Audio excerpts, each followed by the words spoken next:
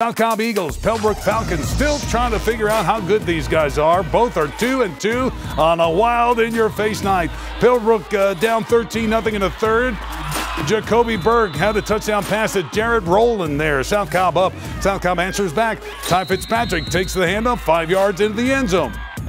20 to 7. Still in the third. South Cobb strikes again. Khalil Carter with a touchdown strike to Khalil Shaw. 27 to 7. South Cobb Pebblebrook got a little fight left in him. Burke with another touchdown pass to Akeem Bailey, but South Cobb goes on to win big 42 to 21. Eight